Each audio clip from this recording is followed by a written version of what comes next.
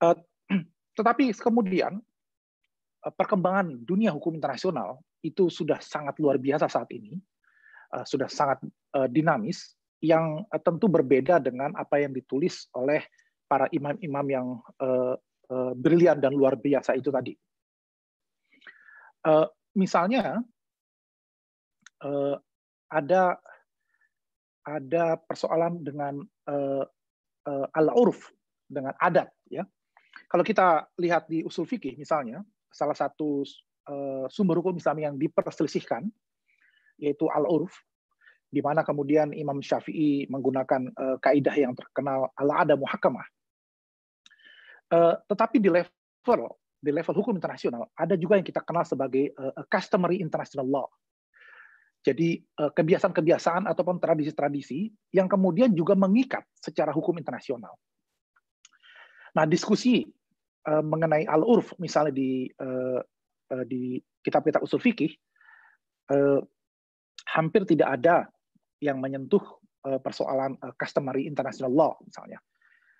Persoalan adat, isi adat, budaya, tradisi, kebiasaan itu hanya diungkapkan dalam tataran lokal, bukan tataran uh, global. Uh, apa saja contohnya uh, customer international law, uh, yaitu misalnya ada uh, kesepakatan uh, bahwa ada beberapa hal yang dianggap uh, sudah diterima oleh masyarakat internasional sebagai norma yang tidak boleh berlaku, artinya harus ditolak. Uh, misalnya uh, torture, uh, slavery, ya perbudakan, uh, crimes against humanity, kejahatan uh, kemanusiaan. Nah, uh, uh, genocide, ya genosida, itu juga uh, disepakati bahwa ini adalah merupakan uh, pelanggaran HAM kelas berat. Nah, uh, bagaimana kemudian uh, dengan uh, slavery tadi? Uh, bagaimana slavery yang dianggap perbudakan dianggap uh, masuk dalam customary international law yang tidak boleh berlaku lagi sekarang, tetapi kita tahu uh, di Al-Quran uh, uh, masih ada ayat-ayat mengenai perbudakan. Di Monash University ini ada satu kolega saya, Profesor Jen Allen, seorang ahli hukum internasional yang sangat terkenal, sangat mendunia karya-karyanya. Memang para dosen-dosen di Monash Fakultas Hukum ini dosen-dosen kelas dunia, bedanya dengan saya kalau saya kelas dunia akhirat. Uh, ini mem, beliau Profesor Jane Allen ini membahas masalah modern slavery. Jadi saya sempat ngobrol dengan uh, beliau. Saya katakan bahwa uh, bukankah perbudakan itu sudah hapus, sudah apa, sudah pupus. Uh, tapi justru beliau uh, mengatakan bahwa uh, sekarang ada bentuk-bentuk perbudakan modern baru. Nah, tentu menjadi pertanyaan sekarang, apakah kemudian ayat-ayat di Al-Quran tentang perbudakan itu uh, bisa diterapkan dalam kasus-kasus modern slavery? Apa contoh dari modern slavery itu? Misalnya trafficking, child trafficking. Ya, nah itu bagaimana eh, anak-anak kecil diculik, kemudian uh, dikirim ke misalnya negara Kambodia, negara Vietnam, di sana kemudian dia di, mereka dipekerjakan uh, sebagai kurir dalam uh, drugs atau lebih parah lagi mereka menjadi budak seks misalnya dan itu terjadi uh, sekarang modern uh, slavery itu. Nah, apakah kemudian ayat-ayat uh, mengenai perbudakan bisa kita terapkan dalam konteks uh, modern slavery ini misalnya? Nah, dalam konteks uh, hukum internasional, uh, saya harus menyebut uh, satu tokoh yang mungkin jarang kita dengar namanya, yaitu Aun al-Khawasauneh. Namanya agak aneh. Ya, Aun al-Khawasauneh. Beliau ini dulunya adalah uh, Perdana Menteri Jordan. Atau sekarang masih, Perdana Menteri saya, saya kurang tahu. Sekarang uh, masih atau tidak. Tapi uh, peran beliau yang luar biasa adalah sebagai salah satu hakim pada uh, ICJ, International Court of Justice, alias Mahkamah Internasional, salah satu organ dari uh, eh, PBB. Beliau juga pernah menjadi anggota International Law Commission (ILC), bentukan majelis umum PBB yang uh, kita tahu fungsinya adalah meramu dan mengembangkan hukum internasional melalui uh, eh, PBB. Nah, sewaktu beliau menjadi hakim di International Court of Justice (ICJ), nah ini uh, uh, ternyata uh, beliau berperan memasukkan asas hukum Islam dalam hukum internasional. Contohnya adalah kaidah Darul Mafasid Muqaddamun ala Jalbil Masoleh.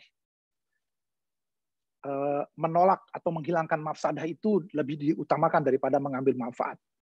Nah, kaidah fikih seperti ini eh, oleh eh, beliau dimasukkan dalam salah satu dokumen International Commission yang penting, yaitu Yearbook of the International Commission tahun 1989. Bahkan saat menjadi hakim, beliau juga memutuskan perkara. Eh, kita tahu ICJ itu uh, jurisdiksinya adalah uh, dispute atau sengketa antar negara. Jadi seperti misalnya kasus uh, Laut Selatan uh, atau Sipadan, Ligatan, misalnya kita ada kasus dengan Malaysia, itu kita bawa penyelesaian sengketanya ke ICJ, International Court of Justice. Nah, saat menjadi hakim itu, beliau secara luar biasa menggunakan kaidah ini, Darul Mafasid Mukadamun ala Jalbil Masolih, saat memutus kasus Argentina dan Uruguay tahun 2010. Padahal kita tahu Argentina dan Uruguay itu bukanlah negara Islam. Mereka lebih terkenal sebagai negara sepak bola, misalnya.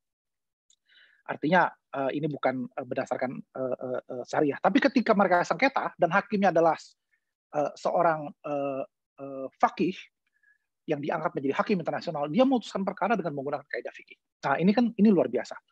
Tapi kalau kita balik, kita balik, bisakah kemudian negara-negara Islam yang tergabung dalam uh, International Court of Justice, uh, ketika mereka punya sengketa, lantas diselesaikan sengketa itu lewat hukum internasional dalam dua tanda kutip hukum kafir, hakimnya hakim kafir, dan uh, keputusannya menjadi mengikat. Nah, apakah ini mau diterima oleh eh, negara-negara Muslim misalnya? Eh, dan dan ini menarik. Kenapa? Karena eh, selama ini kan Fakultas Syariah kita lebih mentraining bagaimana para mahasiswa kita tertarik untuk menjadi hakim di pengadilan agama misalnya. saya dulu waktu kuliah di Fakultas Syariah IAIN Syarif Hidayatullah Ciputat, itu tidak pernah terbayang bahwa ada peluang alumni Fakultas Syariah bisa menjadi hakim di International Court of Justice misalnya. Nah, mungkin Bapak dan uh, Ibu-ibu tahu uh, siapa sekarang uh, presiden dari uh, International Court of Justice itu. Uh, Uh, sebentar, sebentar. Uh, I'll be back ya, sebentar.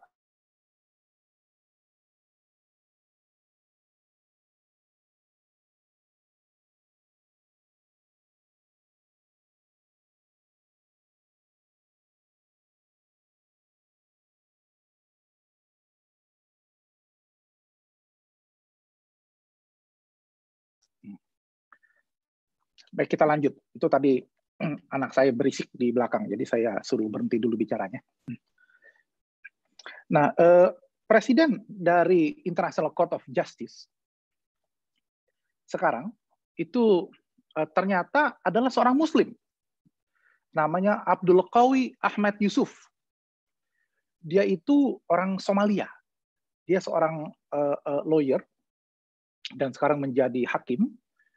Uh, dan mengapa, mengepalai uh, lembaga internasional luar biasa yaitu International Court of Justice.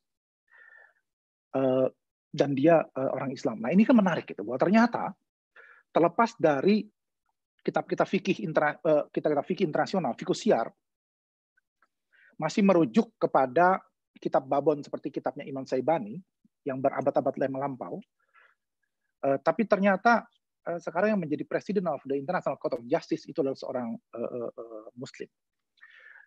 Uh, padahal ada beberapa isu internasional hukum internasional yang nggak ada sebelumnya di kitab kuning. Misalnya hak imunitas terhadap kepala negara atau dubes atau diplomat asing.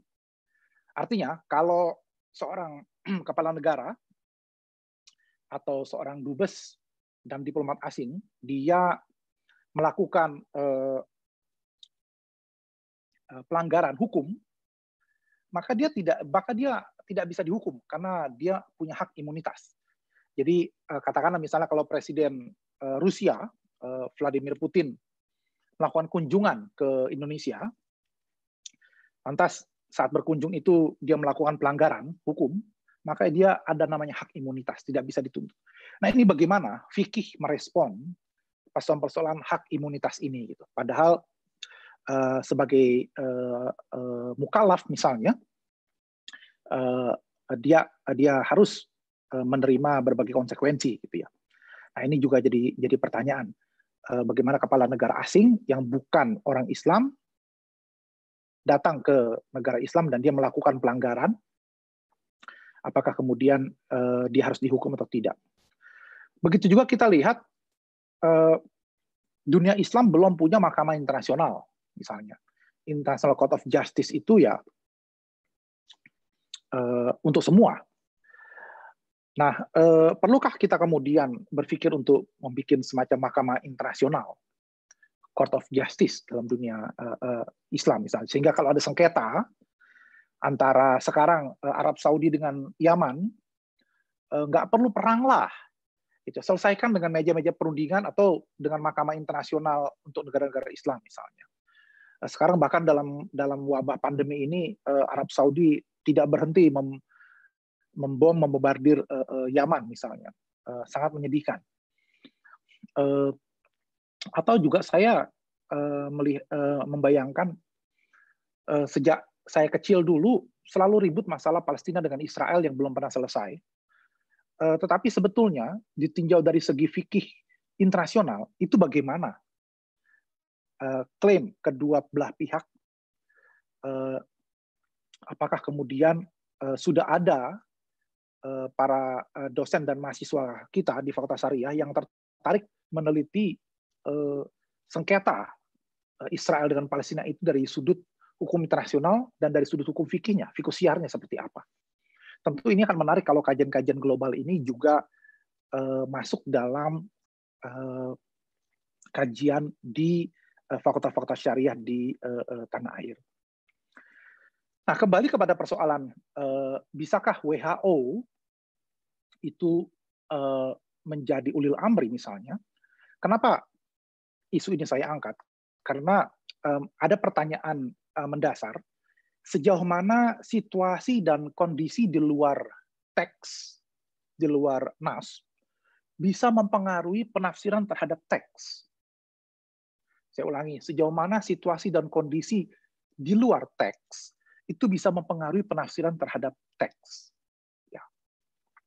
Uh, kalau contoh klasiknya adalah, contoh klasiknya adalah bagaimana misalnya eh, ketika ada pertanyaan, eh, ada bejana air yang langsung tertimpa cahaya matahari, sinar matahari. Bolehkah kemudian kita berwudu langsung dengan air bejana yang lama terkena sinar matahari itu? Imam Syafi'i mengatakan hukumnya makruh. Tapi kalau ditanya apa dasarnya, tidak ada uh, teks cantolan teks yang jelas-jelas mengatakan itu itu tidak boleh. Makanya beliau tidak mengatakan ini haram. Paling tinggi makruh. Dan pertimbangannya ternyata adalah situasi di luar teks. Itu pertimbangan kesehatan. Bahwa kalau terlalu lama air itu eh, panas oleh sinar matahari di luar, lantas langsung kemudian dipakai berwudu untuk membasuh wajah, maka akan ada impact-nya, akan ada uh, implikasi yang terhadap kesehatan, sehingga itu makruh. Nah ini satu contoh bagaimana uh, tuntunan situasi dan kondisi di luar teks itu bisa mempengaruhi penafsiran terhadap teks. Nah, bisakah kemudian pendekatan Imam Syafi'i ini uh, kita terapkan dalam konteks uh, wabah corona misalnya? Bagaimana pertimbangan kesehatan masyarakat itu bisa mempengaruhi penafsiran kita terhadap teks. Uh, kita hafal semua kaidahnya la dororo wala dirar taridarul mafasid muqaddaman ala jalbil masoleh sihatul abdan muqaddamatun ala sihatil adyan misalnya kita paham tentang makosidus syariah dan segala uh, uh, penik-peniknya. Tetapi fakta menunjukkan ada gap antara teori dengan praktek. Ketika menjawab sejauh mana situasi dan kondisi di luar teks bisa mempengaruhi penafsiran terhadap teks. Masih banyak misalnya para kiai-kiai kita, para ulama kita, para tokoh masyarakat kita yang keberatan untuk tidak sholat Jumat atau sholat berjamaah di masjid di saat pandemi ini misalnya. Meskipun uh, kitab yang dibaca sama, kitab kuning yang dibaca sama, uh, mereka baca juga Al Asbab Nazair dengan Imam Suyuti, uh, kitab kawaid itu. Tapi ketika kemudian mau diaplikasikan dalam kasus, uh, ternyata tidak tidak tidak semuanya bisa sepakat. Ini yang saya bilang ada gap antara teori dengan uh, dengan uh, praktek. Uh, agama akhirnya lebih bicara soal perasaan, perasaan bahwa uh, apa yang terjadi dengan nasib saya kalau saya tidak uh, sholat Jumat lebih dari tiga kali, meskipun itu dianggap uzur syari sebenarnya, misalnya. Dan ini menjadi salah satu persoalan juga yang akhirnya membuat saya berpikir bahwa memang ternyata kita memang harus melakukan semacam ijtihad kolektif atau ijtihad jama'i. Tidak hanya ngelotok dalam hal kitab kuning, kawaid fikih, kawaid usuliyah misalnya, tapi juga kita harus ketika kita aplikasikan dalam konteks masyarakat, kita juga harus bekerja sama dengan para dokter, eh, para psikolog misalnya, para pakar virus, para pakar eh, kesehatan masyarakat, untuk kemudian eh, kita bisa mempertimbangkan kondisi situasi dan kondisi di luar teks tadi, yang di mana penafsiran dan praktek keagamaan kita bisa kemudian menjadi berubah. Saya tahu ini ini teorinya mudah, tetapi dalam prakteknya ternyata tidak mudah. Gitu ada kawan saya dokter sejumlah dokter yang kemudian sampai menangis mengatakan bahwa susah sekali memberikan pemahaman kepada para kiai mengenai wabah corona ini misalnya. Saya katakan dia seharusnya tidak demikian, tapi ya faktanya itu yang itu yang terjadi. Baik, uh, kita beralih kepada uh, persoalan lain. Uh, ada dua terminologi dalam hukum Islam yang dianggap negatif atau pejoratif atau jelek lah gitu ya kesannya jelek di mas, di media Barat. Jadi jadi kalau kemudian media Barat itu menggunakan dua kata ini itu maksudnya negatif gitu ya. Uh, katakanlah tiga, jangan dua lah, tiga lah, ada tiga. Yang pertama kata syariah. Jadi kata syariah itu sudah dimaknai secara negatif di media Barat. Gitu. Makanya misalnya eh, saya mengajar mata kuliah di Monash Fakultas Hukum itu eh, an introduction to Islamic law. Saya tidak bilang syariah, saya bilang Islamic law. Kenapa? Karena kalau dibilang eh, syariah itu tadi kesannya sudah negatif gitu ya. Eh, yang kedua yaitu hudud. Jadi kalau sudah disebut hudud, masyarakat Barat itu sudah langsung eh, paranoid Eh, bagaimana eh, kesannya melanggar hak asasi manusia, hukuman fisik, hukuman badan itu sudah ditinggalkan di negeri-negeri barat, tetapi ternyata di di tanah air eh, di, di dunia Islam orang masih bicara soal hudud misalnya. Yang ketiga tentu saja jihad. Ah, jadi jadi kita harus bermanuver ketika kita mensosialisasikan nilai-nilai hukum Islam di masyarakat Barat Eh, sedapat mungkin kita mencari terminologi lain, istilah lain, eh, karena terlanjur tiga, tiga eh, terminologi ini menjadi dianggap negatif di masyarakat Barat. Baik itu terjadi karena kesalahpahaman mereka, maupun juga terjadi karena ulah sesama umat Islam sendiri. Di sisi lain, ada dua bidang yang menonjol, dua bidang garapan tentang syariah yang menonjol di tataran global dan uh, secara umum itu uh, dianggap positif. Meskipun bagi yang fobia tentang Islam ya Islamfobia, apa pun tentang Islam tentu mereka akan serang. Tapi secara umum dua kajian dua bidang yang yang sekarang banyak ramai di di negeri Barat yaitu pertama ekonomi syariah, yang kedua halal sertifikat. Jadi dua bidang kajian ini ini sedang ramai. Kenapa? Karena semuanya melibatkan uh, fulus.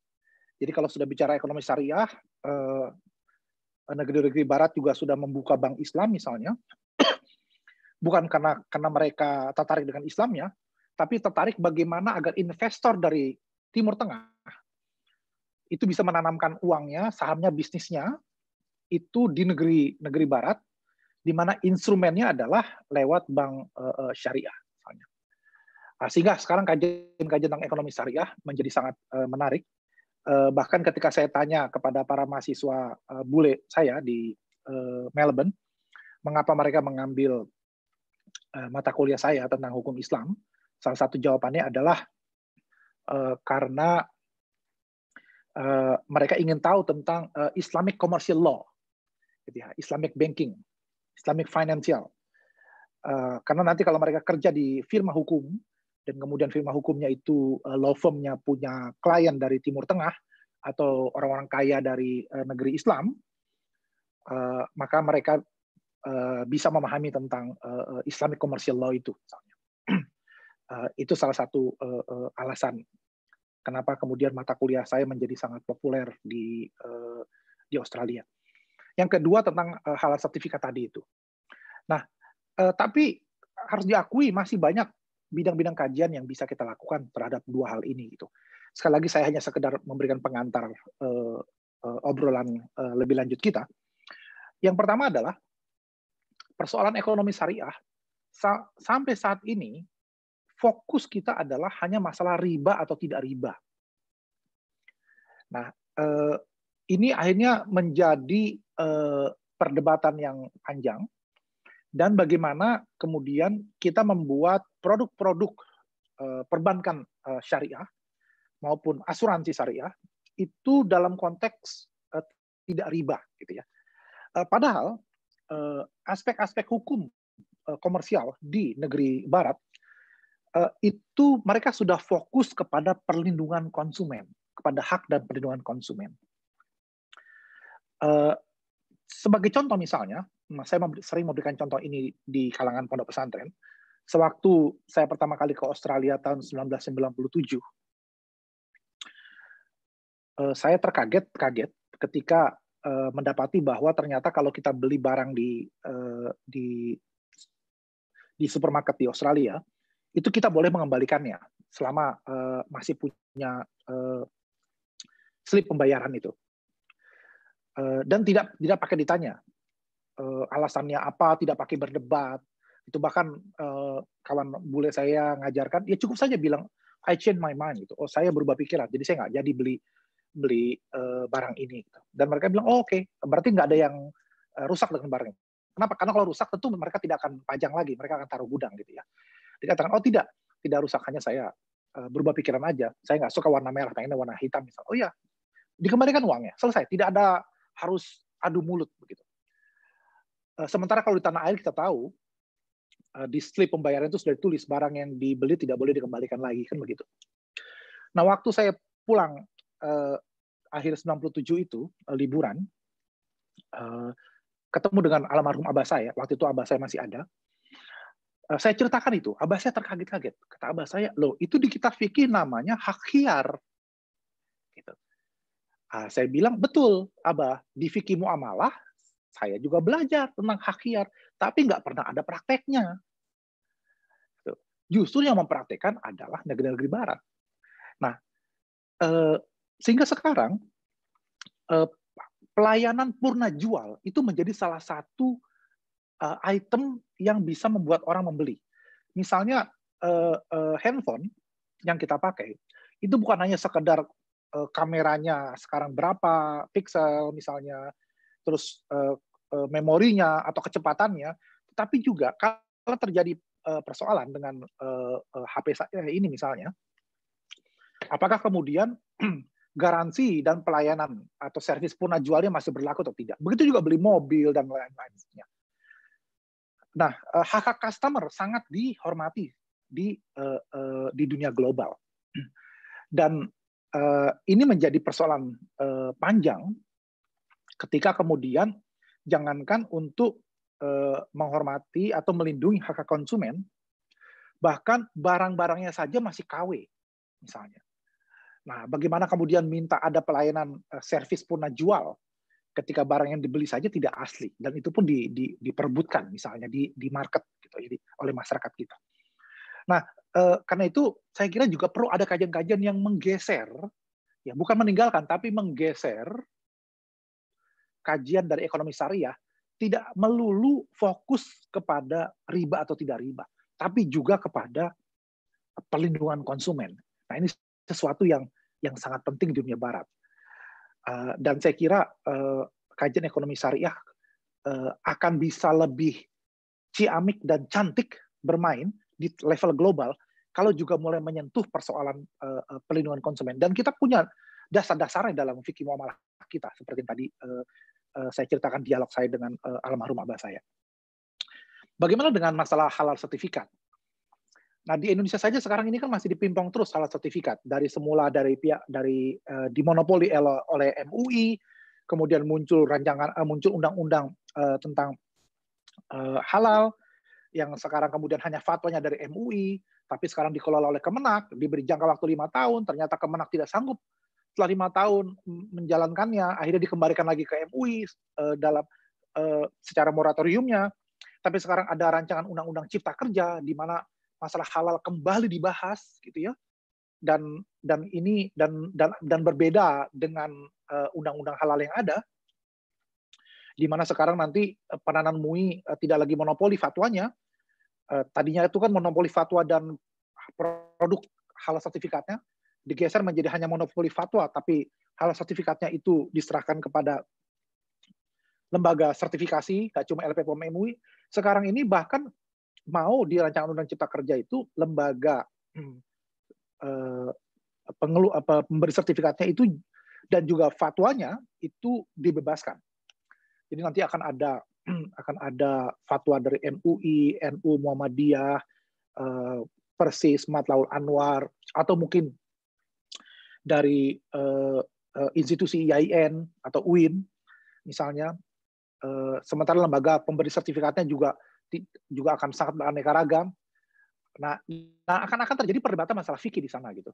Bahwa ternyata ada satu lembaga sertifikasi misal saya bayangkan ini kalau itu goal rancangan undang-undang cipta kerja omnibus law itu akan ada satu lembaga satu satu uh, produk yang mendapat sertifikasi dari lembaga A berdasarkan fatwa dari ormas B misalnya. Ah, kenapa dia dapat fatwa dia dapatnya dari ormas B? Karena kalau menurut ormas C itu produknya haram. Tapi menurut menurut ormas B produknya halal. Nah, sehingga kemudian uh, akan ada fatwa shopping. Akan ada kemudian fatwa yang pindah-pindah uh, untuk mendapatkan uh, produk sertifikat. Apakah ini sesuatu yang sangat baik atau tidak? Ya, ini perlu kajian lebih jauh. Tapi saya uh, tidak melihat bahwa uh, Eh, fakultas syariah kita eh, merasa ini sebuah kajian yang penting eh, masalah RUU Cipta Kerja ini gitu ya. Terbukti dengan saya lihat dari rapat di, di Komisi DPR yang membahas rancangan undang-undang Cipta Kerja dalam masalah halal ini, yang baru diberikan pertimbangan itu ya baru tiga ormas besar itu, MUI, NU, dan Muhammadiyah. Eh, saya kira memang kalangan fakultas syariah, apalagi kalau dimulai oleh fakultas syariah in Ponorogo, itu akan sangat luar biasa.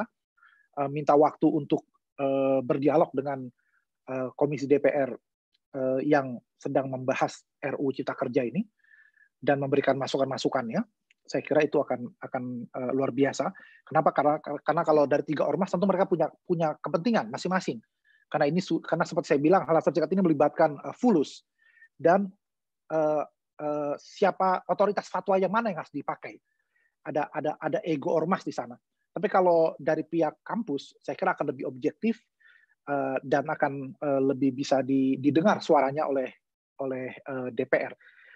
Nah, uh, saya kira uh, satu hal lagi sebelum saya akhiri, uh, masalah halal sertifikat ini di tataran global ini sekarang sangat banyak karena saya bilang tadi melibatkan fulus.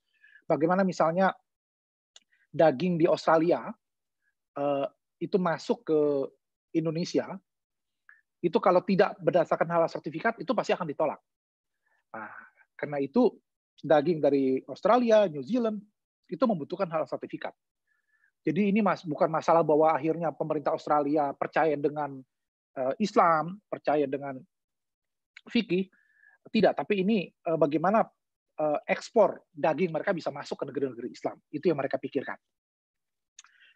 Hanya saja kita juga harus membahas bahwa tidak hanya melulu pada persoalan halal, karena kita tahu yang menjadi terminologi di Quran itu halalan toyiba, halal dan toyib. Nah, kalau kita buka kitab-kitab tafsir klasik, toib di sini maksudnya adalah bersih, tidak menjijikkan. Gitu ya. Uh, tetapi sekarang dalam konteks tataran global, perlu ada penafsiran-penafsiran baru tentang toib ini.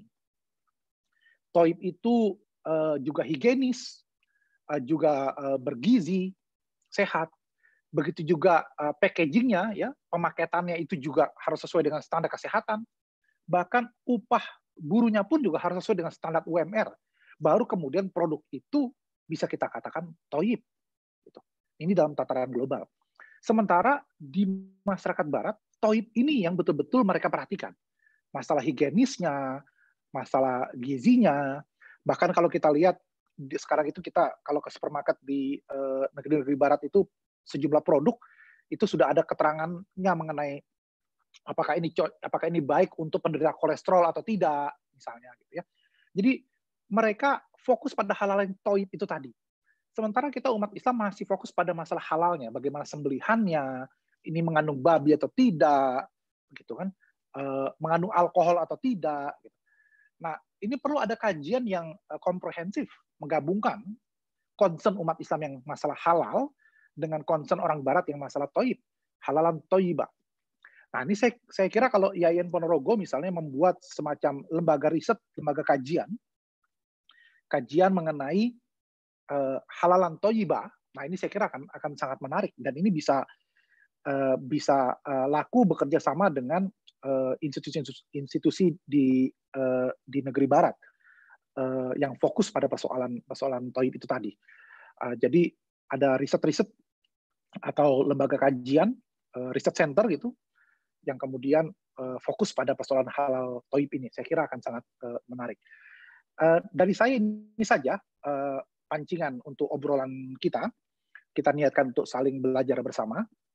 Semoga Allah memberikan kita ilmu yang bermanfaat. Uh, Subhanak la ilma lana ma'alam tanah innaka antal alimul hakim. Maha suci engkau ya Allah. Sungguh kami tidak punya ilmu apa pun kecuali apa-apa yang telah engkau ajarkan kepada kami. Terima kasih lebih kurangnya mohon maaf. Ila Assalamualaikum warahmatullahi wabarakatuh.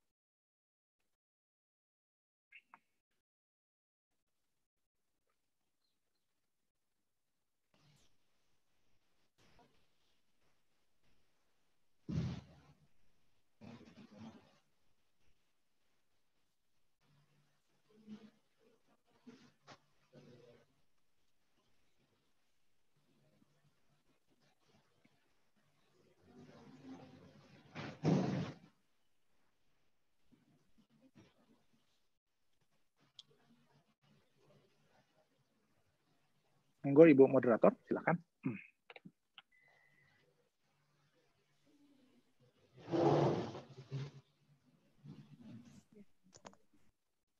Baik, terima kasih ilmunya Prof. Nadir.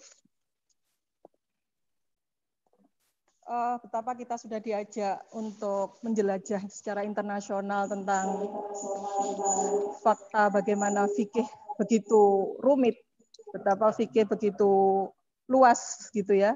Sementara kita hari ini masih berkutat di persoalan-persoalan yang sangat eh, sederhana, misalkan kunut, perbedaan takbir, dan lain sebagainya. Padahal sebagaimana kita dengarkan bersama tadi, eh, fikih harus segera bisa menyelesaikan persoalan-persoalan yang dihadapi oleh dunia internasional. Sehingga saya mengingat beberapa saat yang lalu saya mengikuti sebuah acara yang menyatakan bahwa Islam hari ini tuh masih melihat Islam ke dalam, belum bisa berhasil melihat Islam keluar. Kalau Barat, eh, sebagaimana kita tahu dalam eh, Orientalisme itu mereka melihat Timur, tapi kalau Islam masih melihat diri sendiri aja masih belum berhasil, apalagi menyelesaikan kasus-kasus yang begitu rumit secara internasional, sebagaimana yang sudah eh, Gus Nadir sampaikan tadi. Baik, Saya kira ini memantik beberapa pertanyaan dari peserta yang dari lokal, dari dalam sini. Monggo kalau ada.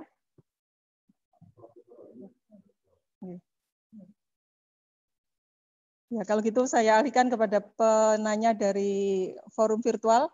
Ada Ibu Dr. Rahma Maulidia. Monggo disilakan.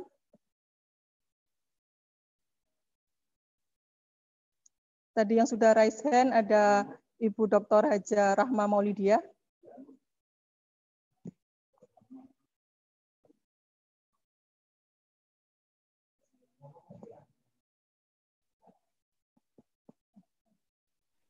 Oh, dia di mute ini. Kalau hostnya mesti di unmute dulu. Mas, mas Halo. Halo, bisa dengar suara saya? Ya, sudah, sudah bisa, bisa. Oke. Assalamualaikum warahmatullahi wabarakatuh. Waalaikumsalam. Ya, kami hormati Prof. Nadir, yang kami hormati seluruh jajaran dari Fakultas Syariah yang kami banggakan uh, sahabat saya Ibu Dr. Isnatin Ulfa dan seluruh partisipan yang kami muliakan. Uh, dari paparan Prof. Nadir tadi, saya menjadi uh, sangat tercerahkan ya banyak sekali ilmu-ilmu baru tentang wawasan internasional termasuk bagaimana kita juga bisa berkontribusi melahirkan banyak sekali um, graduation alumni-alumni yang bisa juga sesungguhnya berkiprah di dunia internasional. Saya juga teringat ketika beliau menulis tentang hila dan halal.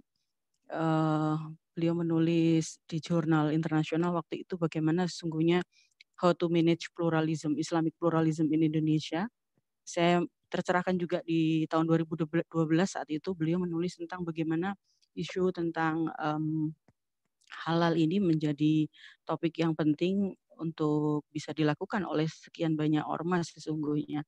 Tapi itu juga uh, membuka uh, persoalan baru bagaimana uh, kriteria halal dan kita sesungguhnya sudah banyak diberi contoh-contoh konkret bagaimana di Australia di Melbourne sendiri memberi uh, wawasan yang tadi misalnya dari aspek gizi, dari aspek packaging, uh, yang semuanya itu saya kira juga sangat syari, sangat islami.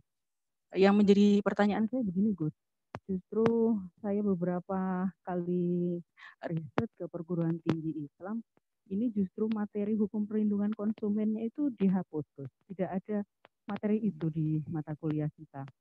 Nah kira-kira itu uh, mata kuliah seperti apa kalau di Melbourne sana Terima kasih Gus. Assalamualaikum warahmatullahi wabarakatuh. Waalaikumsalam. Terima kasih moderator. Terima kasih juga Bu Doktor atas uh, feedbacknya. Saya lanjutkan untuk pertanyaan berikutnya. Ada beberapa yang sudah menulis di chat. Saya pilih beberapa pertanyaan. Ini dari Ibu Dr. Mambaul Ngadimah. Izin bertanya untuk Profesor Nadir. Pengembangan studi syariah dan fikih muamalah sesuai dinamikanya harus merespon kebutuhan internal umat Islam yang heterogen dan tuntutan global. Mohon disampaikan desain implementasi untuk pengembangan paradigma dan pengembangan kurikulum Fakultas Syariah dan Fakultas Ekonomi dan Perbankan Syariah yang responsif kekinian. Kemudian ada pertanyaan dari mahasiswa. Kita pilih salah satu yang mewakili mahasiswa kita.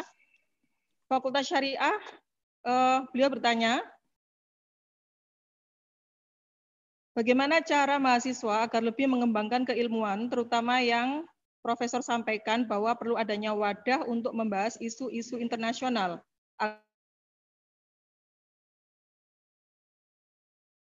agar lebih terbuka wawasan kami. Tiga, masih Nambah lagi? Sementara tiga atau masih ada? Ini masih ada satu lagi dari alumni.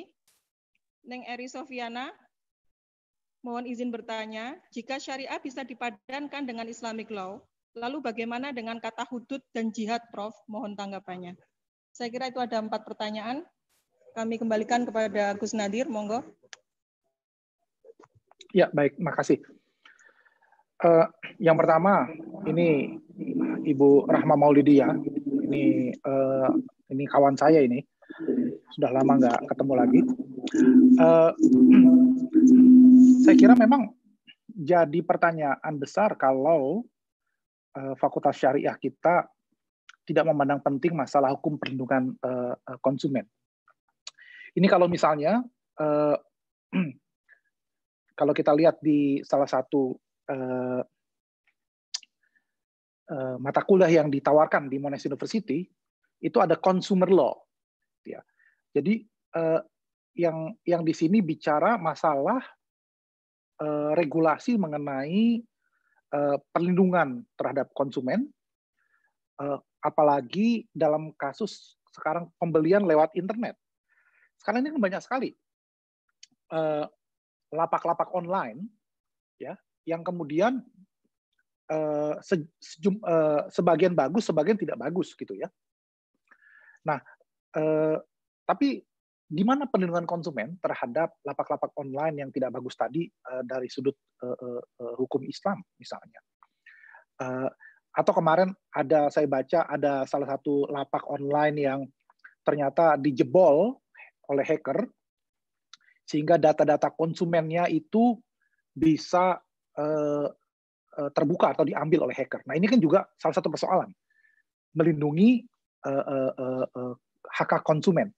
Nah, itu di fakultas hukum di luar negeri itu menjadi perhatian penting. Ada lagi mata kuliah lain competition and consumer law ya di Monash ini gitu. Nah, jadi bagaimana orang-orang yang produk-produk uh, yang saling bersaing itu tadi berkompetisi menjual produknya sampai akhirnya mereka melupakan perlindungan terhadap konsumen. Ya, uh, misalnya apakah produk yang dijual itu uh, safe ya aman untuk dipakai atau dikonsumsi oleh konsumen. Sementara kita agak repot. Misalnya begini,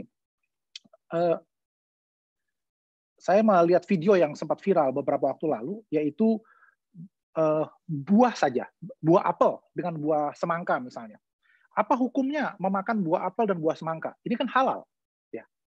Tetapi ketika buah apel itu kemudian diolesi lilin, oleh penjual sehingga kelihatan kinclong ya merah merekah kinclong ini hukumnya apa nah eh, dan bagaimana kemudian mengkonsumsinya eh, sehatkah mengkonsumsi seperti itu atau misalnya buah semangka itu halal dimakan namanya buah gitu kan tapi beredar di video bagaimana para sejumlah penjual tidak semua tapi sejumlah penjual Eh, buah-buahan itu menyuntik agar semangka ini menjadi ketika ditampilkan dibelah eh, merah membara gitu. Padahal itu dari bahan kimia yang disuntikan. Nah, ini sudah mendesak dan kenapa para pelakunya orang-orang kita juga umat Islam juga.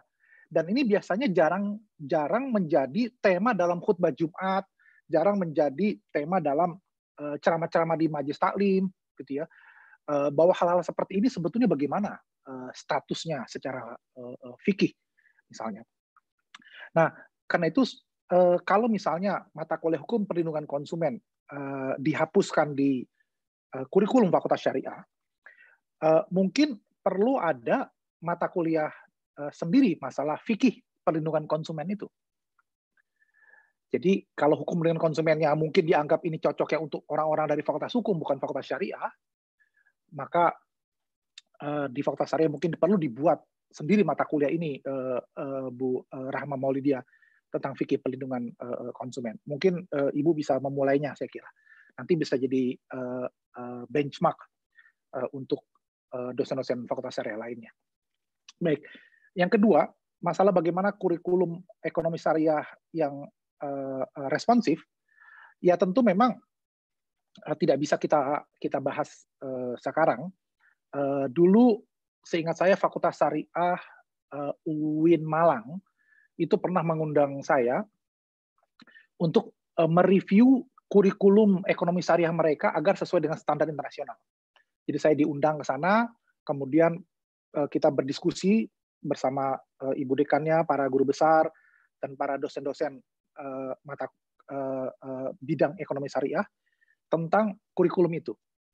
Nah, kalau kalau misalnya kawan-kawan dari Fakultas Syariah dari Ponorogo maupun yang lainnya mau melakukan itu, saya dengan senang hati bisa bisa datang dan kemudian kita bisa berdiskusi untuk mereview kurikulum Fakultas Syariah yang responsif terhadap tuntutan global misalnya. Uh, yang ketiga uh, uh, dari pertanyaan dari mahasiswa tadi, ya uh, kalau kita hanya memang menunggu uh, mata kuliah baru dari Fakultas Syariah itu memang agak susah. Seingat saya memang uh, agak ribet membuat mata kuliah baru karena uh, kurikulumnya harus dibuat uh, secara nasional, uh, terus hanya ada muatan-muatan uh, lokal yang uh, sangat uh, spesifik dan sedikit sekali. Dan ini memang, berbeda dengan misal kajian di universitas di Barat. Waktu saya datang ke Australia dan mengajar pertama kali di Universitas Wollongong sebelum pindah ke Monash, itu misalnya tidak ada mata kuliah hukum Islam. Saya buat sendiri mata kuliah hukum Islam itu saya tawarkan kepada fakultas lewat komite yang menilai dan kemudian disetujui. Jadi proses uh, membuat mata kuliah baru itu tidak ribet di kampus-kampus luar negeri.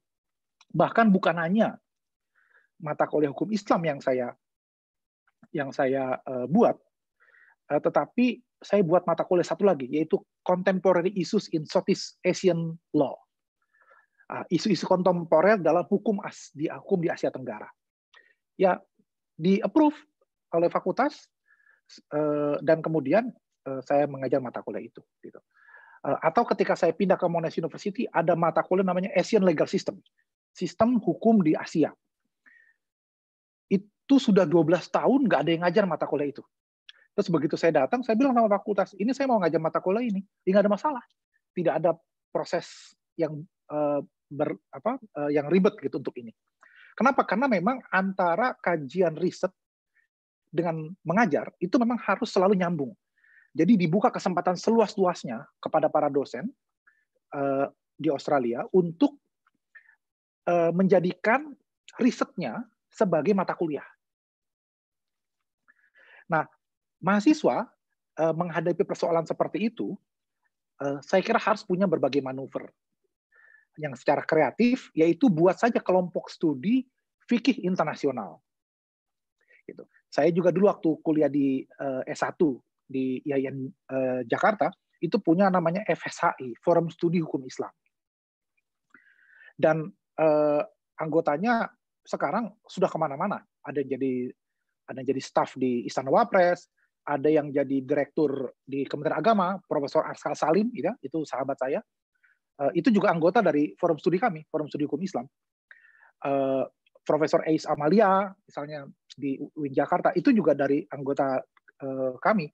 Nah, jadi bayangkan dari dulunya cuma para mahasiswa, sekarang sudah jadi para profesor nih, para anggota ini. Nah, dulu itu waktu mahasiswa S1, ya kita bikin kelompok studi, forum studi hukum Islam, uh, sehingga hal-hal yang tidak diajarkan oleh dosen di kelas uh, itu kami sendiri para mahasiswa yang mencari tahu. Kami kami undang pembicara, kami undang hakim agung, kami undang uh, kiai, kami undang uh, uh, para guru besar untuk bicara di forum studi kami. Gitu. Uh, dan hasilnya kan luar biasa seperti saya ceritakan tadi. Alumni dari forum studi itu sudah jadi profesor di berbagai tempat. Nah, karena itu saya menyarankan kepada para mahasiswa kita juga jangan hanya terpaku pada kurikulum atau mata kuliah-mata kuliah yang ditawarkan oleh Fakultas Syariah karena kita tahu birokrasi kampus sedemikian ribetnya misalnya untuk mengakomodir berbagai perkembangan uh, zaman dalam mata kuliah yang mahasiswa harus kreatif kemudian untuk mencari sendiri gitu ya. Uh, yang keempat ya soal hudud dan jihad ya ini memang menjadi terminologi yang pejoratif di media masa barat. Nah, saya kira kita juga harus menjelaskan masalah hudud dan jihad ini dengan dengan baik. Dalam berbagai kesempatan saya juga uh, menulis, misalnya menulis buku tentang modern perspektif on Islamic law itu di bab kelima kalau saya tidak salah itu saya membahas masalah uh, fikih jinayah ini bagaimana melakukan uh, pembaruan terhadap fikih jinayah yang kemudian bisa di, diterima secara syariat tapi juga bisa diterima dalam konteks penegakan hak asasi manusia misalnya. Uh, begitu juga masalah uh, uh, jihad. Ini juga bisa kita lihat dalam konteks hukum internasional. Jadi selama ini membahas jihad ini kan hanya dalam konteks takbir, melawan orang kafir, begitu ya. Padahal kalau kita lihat misalnya hukum internasional itu ada namanya international humanitarian law, ya, international humanitarian law. Nah jadi kalau kita mau kembangkan jihad dalam konteks hukum internasional itu akan menarik gitu. Bagaimana misalnya ada aturan siapa saja yang yang masuk kategori kombatan, yaitu uh, uh, uh, orang yang bertempur. Ya, uh, bisakah uh, kemudian uh, secara fikih misalnya Eh, membunuh orang-orang non kombatan. Ya. Nah, dalam fikih kan sudah jelas eh, tidak boleh misalnya membunuh uh, rahib, pendeta, uh, tidak boleh kemudian membunuh anak-anak, wanita, misal dalam dalam perang. Nah, tapi uh, perlu kita kembangkan lebih jauh. Uh, misalnya begini, dalam kasus konflik Israel dan Palestina, misalnya uh, karena Palestina itu kekurangan uh, senjata, kekurangan anti rudal misalnya, maka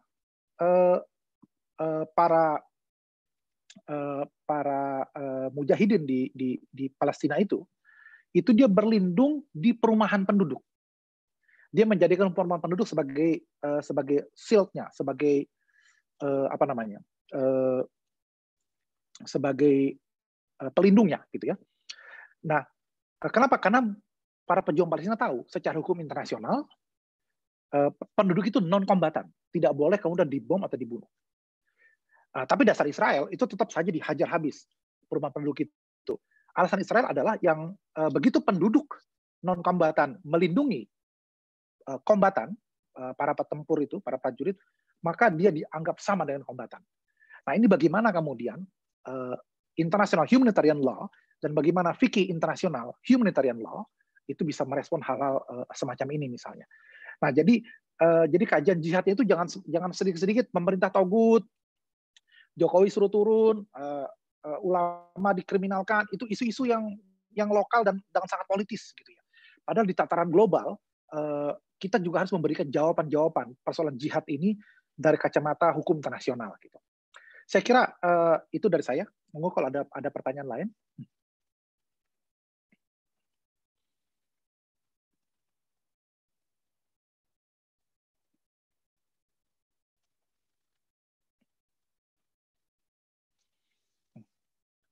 Monggo Ibu moderator.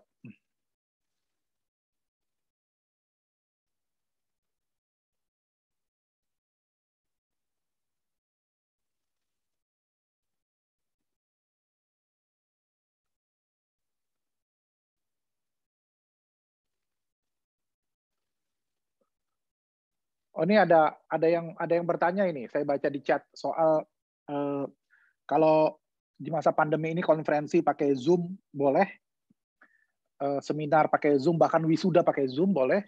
Bagaimana kalau kemudian uh, akad nikah juga online lewat Zoom, begitu. Nah, dulu itu yang jadi persoalan sempat masalah akad nikah lewat telepon.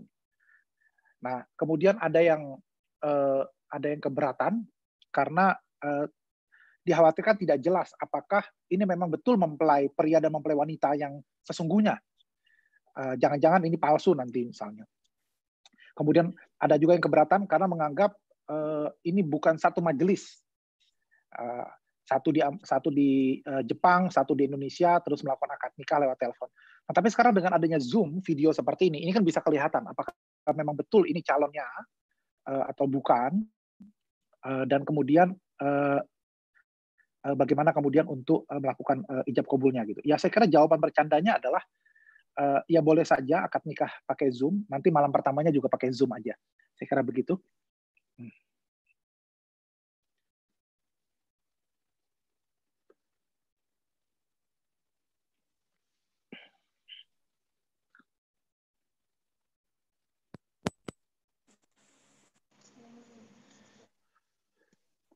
Kita buka pertanyaan untuk dari luar IAIN.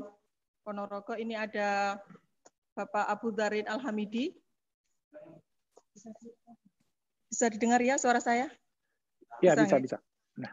Uh, ide Ciamik mendirikan pengadilan agama internasional mestinya menjadi concern dunia Islam internasional. Uh, yang ditanyakan sejauh mana progres rintisan pendirian pengadilan Islam internasional dan bagaimana respon OKI terhadap ICC tersebut. Kemudian ya, uh, ini ada juga oh, pertanyaan okay, dari Arisman. Jadi pertanyaannya adalah Oh tadi tentang nikah sudah dijawab. Ini ada dari ya. Mas Tafid Sukri. Bagaimana konsep syariah Islam dalam menghadapi pasar global? Sudah, saya kira cukup itu. Ya. Pak Munim, resen. Dan satu lagi pertanyaan dari Prof. Munim yang sudah resen. Saya persilakan langsung saja Prof. Munim. Berarti ada Tiga lagi pertanyaan.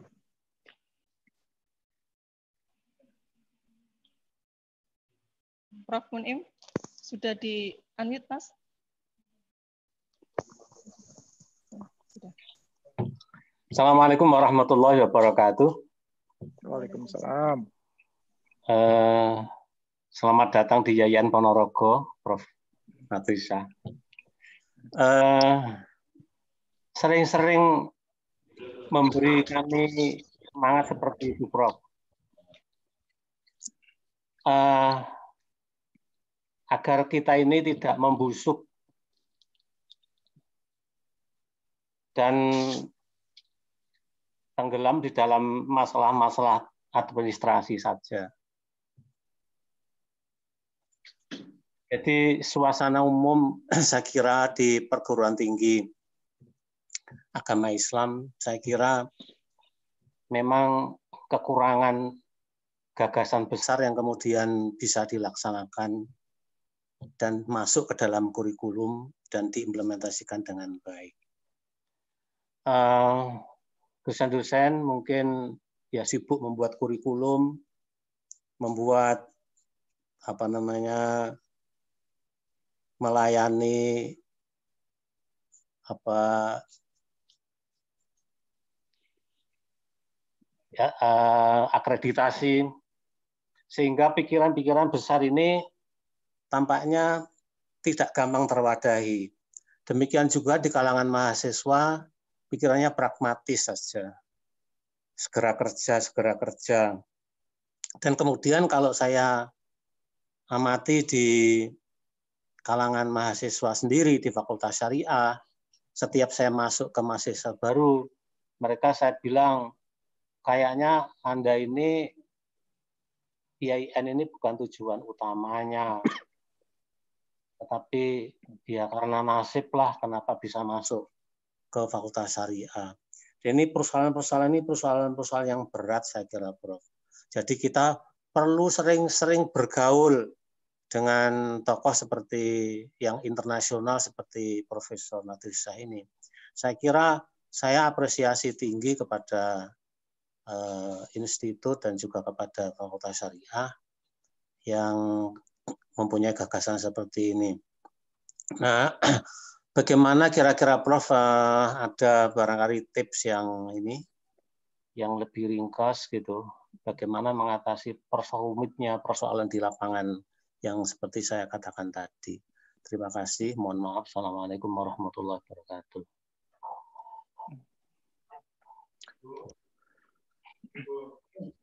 Baik, langsung saya jawab aja, uh, Ibu Moderator.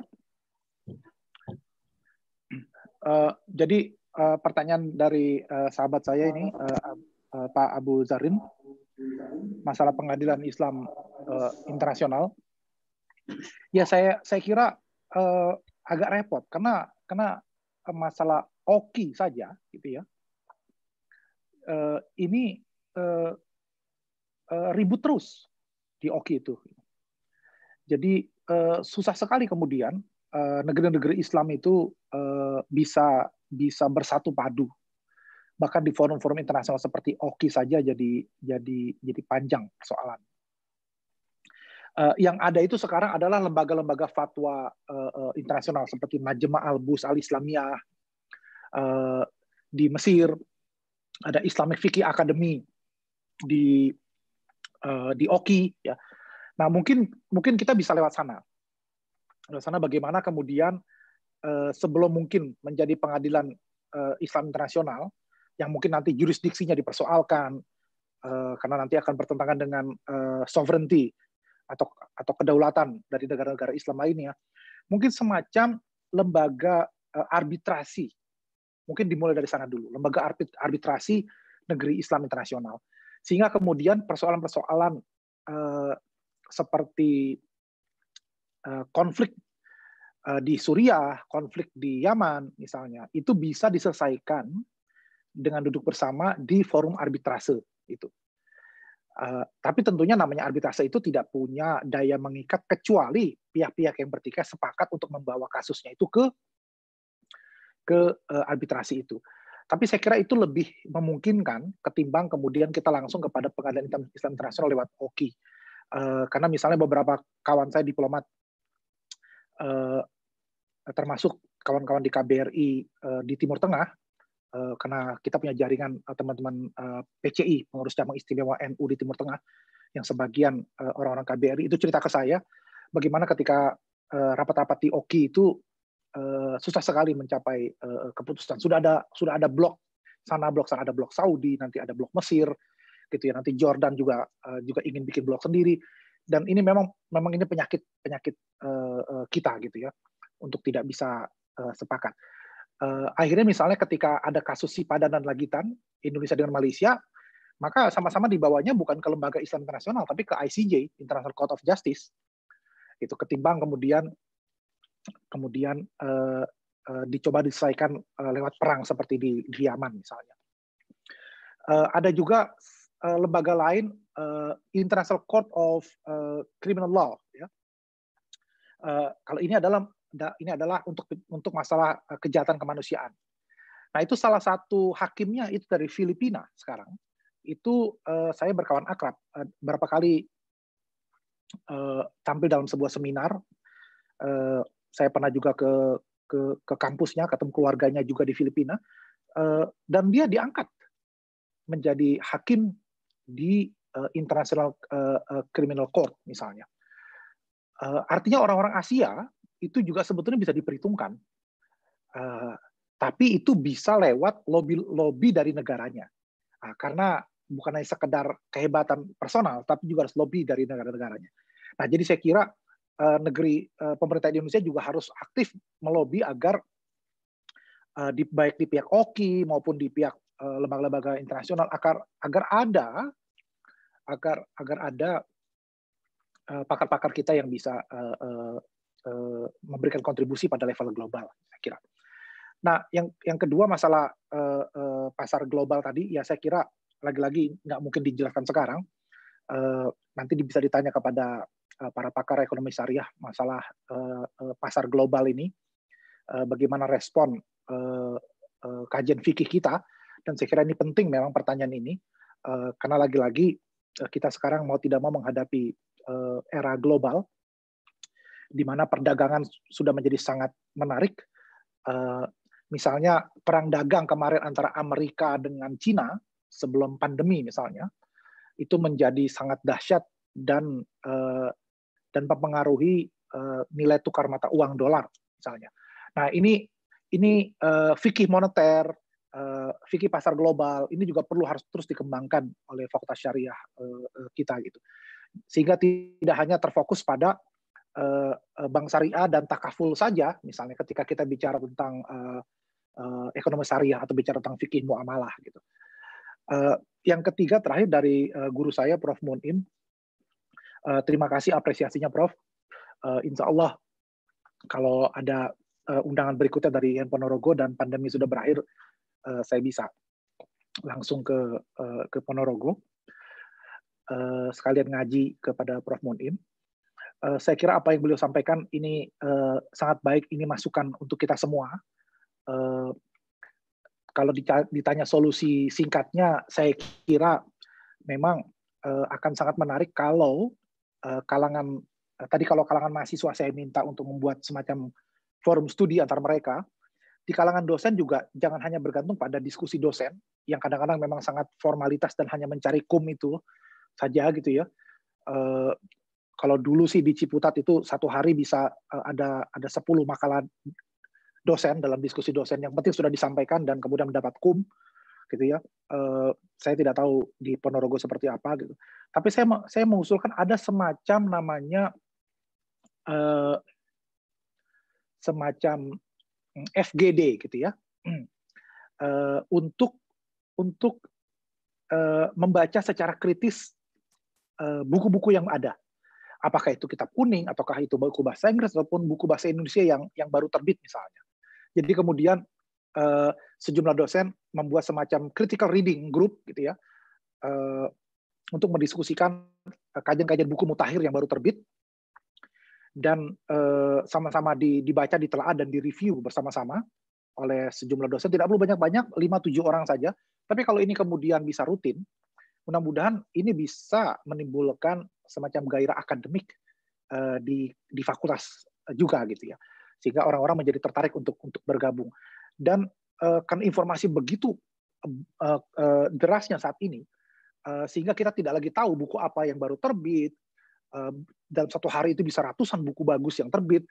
Uh, kita nggak tahu, uh, kita tidak bisa mengikuti perkembangan itu. Tapi dengan bikin kelompok diskusi dosen yang memang khusus untuk mereview buku-buku yang baru terbit, sehingga ditugaskan saja untuk buku ini dosen ini yang yang baca dan kemudian dia harus cerita isinya sehingga dosen lain yang tidak baca tapi juga bisa tahu oh itu loh gagasan utama dari pengarang itu nanti terbit buku lain gantian giliran dosen B yang kemudian membaca dan melakukan reviewnya dan kemudian diskusikan dengan demikian kita bisa terus catch up kita bisa terus mengikuti perkembangan uh, dunia akademik di samping kita sibuk mengisi borang tadi itu ya uh, dan dan urusan administrasi lainnya uh, mudah-mudahan ini bisa kemudian menjadi salah satu solusi untuk meningkatkan gairah akademik di kalangan para dosen juga. Saya kira demikian saja dan dan kelihatannya harus kita akhiri nih Bu moderator sudah jam 2 lebih di Melbourne ini sudah waktunya saya makan siang. Uh, kekurangan dari acara lewat Zoom ini adalah memang tidak ada cemilan ya saya kira adanya ceramah dan diskusi aja. Nah. Baik, terima kasih Prof. Uh, di sini belum jam 12 kalau di sini, masih jam 11. Jadi masih sampai satu jam lagi kita siap. Wah. uh, barangkali panjenengan masih mau berkenan untuk menyampaikan closing statement sebelum acara uh, ini kita akhiri.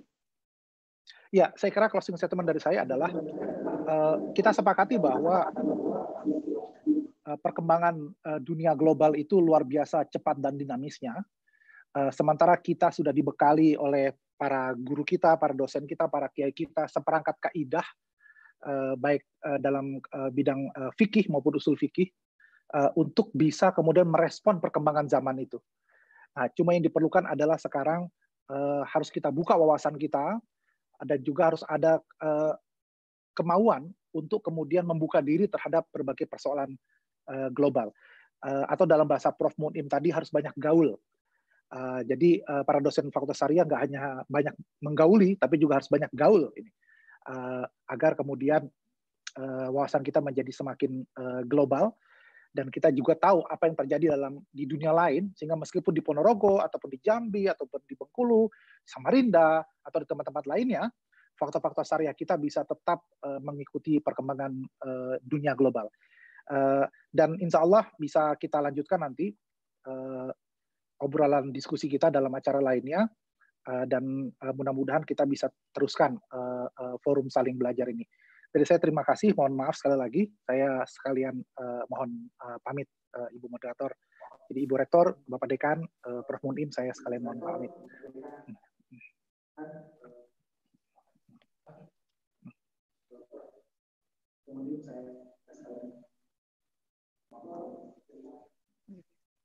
Kita kasih applause untuk Gus Nadir. Terima kasih banyak kehadirannya, terima kasih banyak share ilmunya, insya Allah sangat bermanfaat. Uh, baik Bapak Ibu sekalian yang kami hormati, ada beberapa yang bisa saya garis bawahi, terutama satu hal yang sangat me, apa namanya menyentuh perasaan saya bahwa um,